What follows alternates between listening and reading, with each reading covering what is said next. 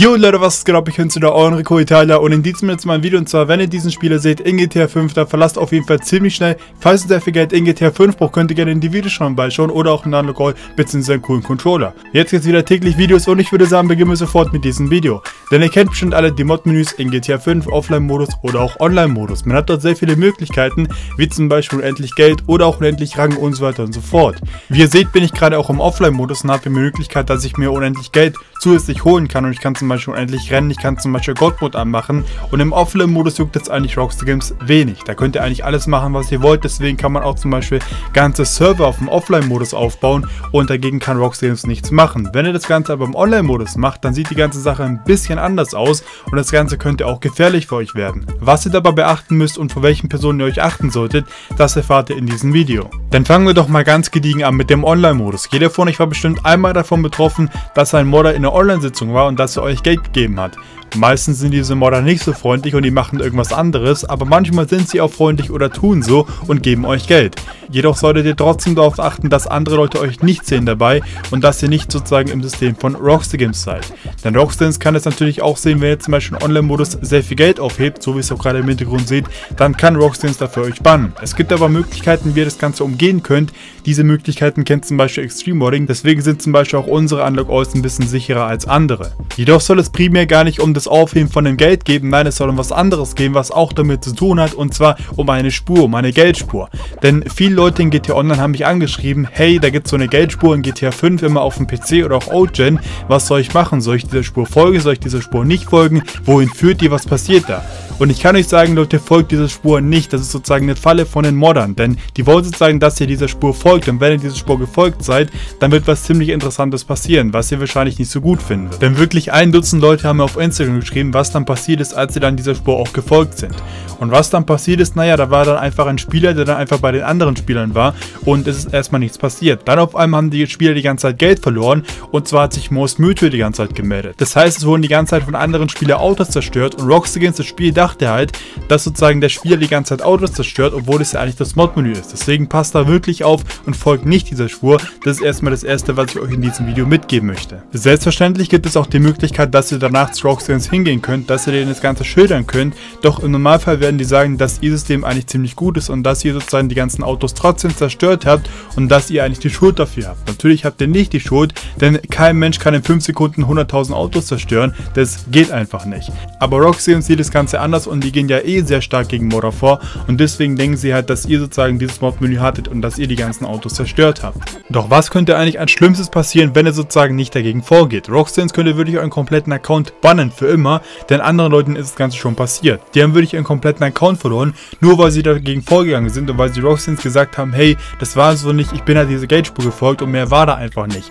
Aber Rockstar geht halt wie gesagt sehr stark gegen Modder vor, deswegen kann es sein, dass ihr euren kompletten Account verliert und dass ihr dann neu anfangen müsst in GTA 5. Gerade für den PC ist es wirklich ziemlich schlecht, denn dort müsst ihr einen neuen Game Key kaufen, was auch nochmal sehr schnell um die 15 bis 30 Euro kosten kann. Deswegen tut mir einfach den Gefallen, wenn ihr sowas in GTA Online seht, verlasst sofort die Lobby. Wenn das Ganze nicht gehen sollte, dann startet einfach eure Konsole neu oder euren PC, dann sollte das Ganze eigentlich behoben sein. Aber es gibt noch andere böse Leute in GTA Online oder auch in GTA 5, die auch böse Dinge machen. Wie zum Beispiel Trolling. Ja Leute, Trolling ist einfach ziemlich witzig und eigentlich kann auch nichts passieren. Wenn jetzt aber die ganze Zeit sozusagen andere Leute in die Luft jagt, obwohl ihr das gar nicht wart, dann kann Rockstar einfach das sehen, dass ihr sozusagen ein Modder seid, der Godmode habt und die ganze Zeit andere Leute killt. Und das mag Rockstar nicht, denn das ist schlecht für die Community und andere Leute wollen ja nicht GTA 5 spielen. Deswegen könnt ihr dafür genauso sanktioniert werden wie für die anderen Dinge. Denn dieses System funktioniert genau gleich wie auch das andere. Das heißt, der Mod-Menü, der Modder sucht sich erstmal ein Online-Spieler aus, sein Opfer. Wenn er dann das Opfer gefunden hat, dann wird er erstmal zu diesem Opfer, aber das Opfer hat immer noch die ganze Kontrolle über den Charakter. Und jetzt muss der Modder nur noch eine Sache tun, nämlich einen Klick machen und die ganzen anderen Spieler gehen einfach in die Luft.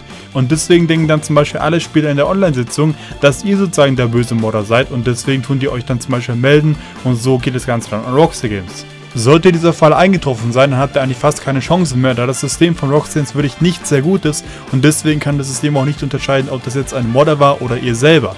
Da habt ihr eigentlich die besten Chancen, wenn ihr das Ganze sozusagen mit dem Handy aufgenommen habt oder auch mit einer Gamecatcher-Card, denn somit könnt ihr wiederum beweisen, dass ihr das Ganze nicht wart und dass sozusagen ein Modder wart, der euch einfach nur getrollt hat.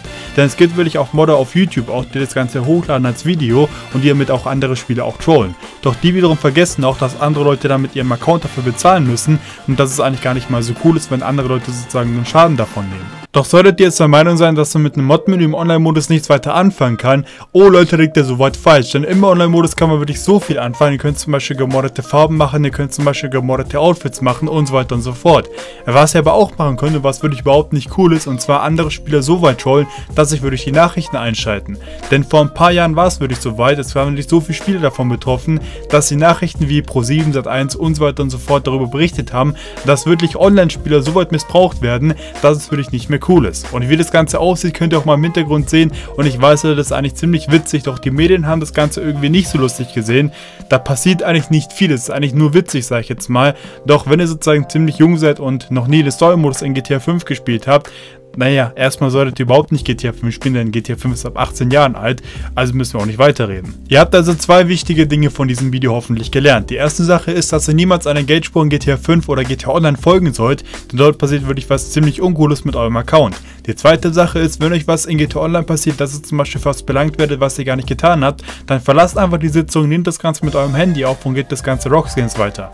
Doch wie wird es eigentlich aussehen, wenn sozusagen ein Modder selber gebannt wird und wenn er alles verlieren wird? Das hat nämlich ein Modder mal aufgenommen, er wollte wissen, wie das Ganze aussieht und es sieht wirklich ziemlich lustig aus. Und wenn es euch schon immer mal interessiert hat, wie es aussieht, wenn ihr in GTA Online gebannt werdet und was danach passiert, dann könnt ihr das Ganze jetzt mal sehen. Um, I spawned a whole bunch of bodyguards I spawned old old ladies, uh, aliens, and um, and and um, uh, mercs. You have been banned from Grand Theft Auto Online. okay. wow. That came out of fucking nowhere. Did you get that on record? Yeah. So sieht das Ganze also aus, wenn ihr in GTA Online gebannt werdet. Diese Person hat das Ganze mal getestet für ein Video und ich muss sagen, es ist wirklich ziemlich interessant, dass sozusagen alles erstmal freigeschalten wird und dass ziemlich komische Geräusche kommen. Doch was jetzt wirklich nicht so ein cooles Thema ist, was aber auf jeden Fall angesprochen werden muss, was wirklich extrem wichtig ist, da es wirklich ziemlich wichtig ist, und zwar Nachrichten im Playstation-Menü, im Xbox-Menü oder auch im GTA 5 Nachrichtenmenü und so weiter und so fort. Wenn ihr so eine Nachricht seht, dann ignoriert sie einfach oder löscht sie einfach oder am besten noch meldet sie einfach, denn es ist wirklich extrem wichtig, was ich euch jetzt noch mitgeben werde. Im Moment sind diese Nachrichten sehr stark verbreitet im amerikanischen Raum. Ich denke, dass sie auch sehr schnell verbreitet sind auf der ganzen Welt und deswegen ist es mir wirklich sehr wichtig, dass ihr darauf nicht reinfallt und dass ihr sofort sowas meldet, dass es sowas weitergibt an die Polizei.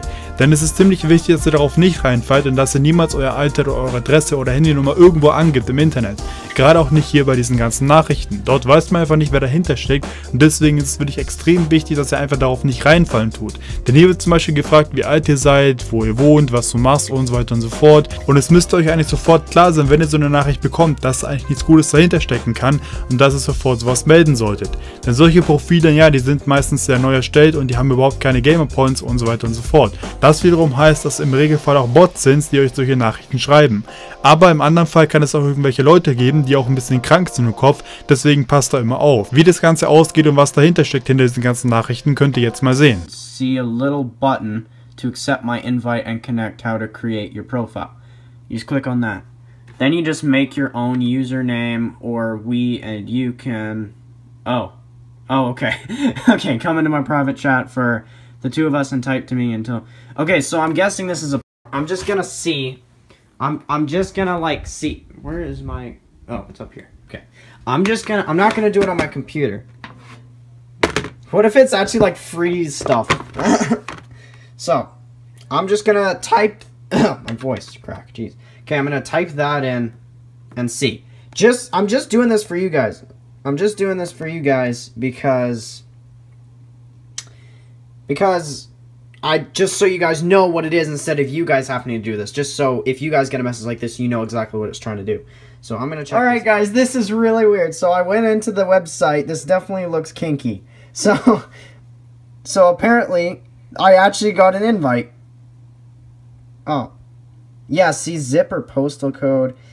See, that's just weird. I don't like doing I don't want to put that in. But Oh my god, that's my location. Okay, I'm not putting this in because I don't trust this at all. I do not trust this, and you guys shouldn't either. The point is, this is wrong that they should be doing this, and Xbox should be finding people like this. I'm sure it's just a bot because I've gotten so many like this, but I'll see. I'll see more. Ich denke, wenn ihr diesen Spieler in GTA 5 sieht, verlasst sofort, hat es eigentlich ziemlich gut auf den Punkt gebracht, denn ihr solltet niemals darauf antworten, sowas sofort ignorieren oder einfach melden. Das ist einfach das Beste, was ihr machen könnt, denn wie gesagt, meistens sind es Bots oder irgendwelche anderen böse Leute, da würde ich nicht drauf einfallen und deswegen würde ich auch sagen, das war's mit diesem Video. Es war eigentlich nur sozusagen ein Informations- bzw. Achtungsvideo, wie auch immer. Ich hoffe, das hat euch ein bisschen gefallen, unterhalten oder auch ein bisschen geholfen, wie auch immer. Ich würde sagen, wir sehen uns beim nächsten Video, Leute. Falls ihr noch sehr viel Geld in GTA 5 braucht, auf eine relativ sichere Art und Weise, könnt ihr gerne in die Videoschreiben beischauen oder falls ihr auch einen neuen Controller wollt, könnt ihr das gerne machen. Ich würde sagen, wir sehen uns beim nächsten Video, Leute. Bis gleich noch bei der lieben Erntkarte. Bis morgen. Haut rein. Ciao. Nicht vergessen, Leute, jetzt kommen wieder täglich Videos, das heißt auch manchmal kommen wieder Gewinnspiele und so weiter und so fort. Falls ihr nicht so passen wollt, könnt ihr gerne Glocke wieder aktivieren. Ich würde sagen, wir sehen uns beim nächsten Video, Leute. Andere Videos könnt ihr gerne jetzt anschauen. Macht's gut, Leute. Wunderschönes Wochenende noch. Schöne Ostern auf jeden Fall noch. Haut's rein. Macht's gut. Macht's Beste draus. Ciao, ciao. Und fallt nicht auf so einen Scheiß rein. Ihr wisst Bescheid, Leute. Bleibt sicher. Ciao.